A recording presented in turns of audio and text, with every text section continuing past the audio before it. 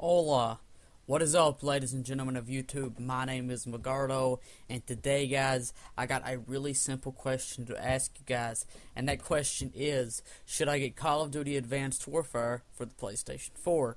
I just want to hear your thoughts down in the comment section below, so should I get it or not? That is all I have for you guys right now. That is all I had to ask you. So, uh, thanks for watching, guys, and I will see you guys later.